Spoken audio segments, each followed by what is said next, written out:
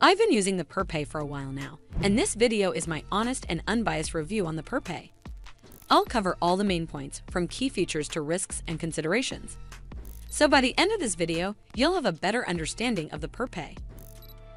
PerPay is a notable platform in the buy now, pay later sector designed to facilitate purchases with a credit building benefit. Users can shop within PerPay's exclusive marketplace and split payments over interest free installments.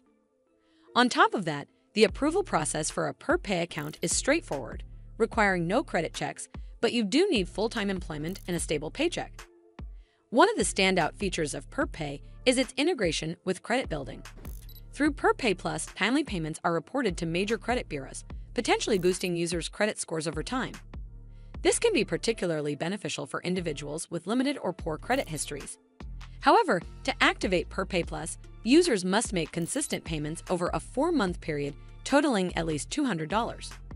Moreover, reports show that users can see credit score improvements, with an average increase of 36 points after six months. While PerPay offers access to a range of popular brands like Apple and Sony, prices can be higher compared to typical retailers, given that this is how the platform sustains its revenue by marking up items sourced at wholesale. However, there are some cons to consider. For instance, PerPay services are only usable within its marketplace, restricting shopping options compared to broader BNPL solutions. Overall, PerPay is an attractive option for those looking to balance large purchases with credit building potential without facing interest or penalty charges. But as always, do consider speaking with an expert before making any decisions. Well, that's all for this video. I hope you found this video helpful.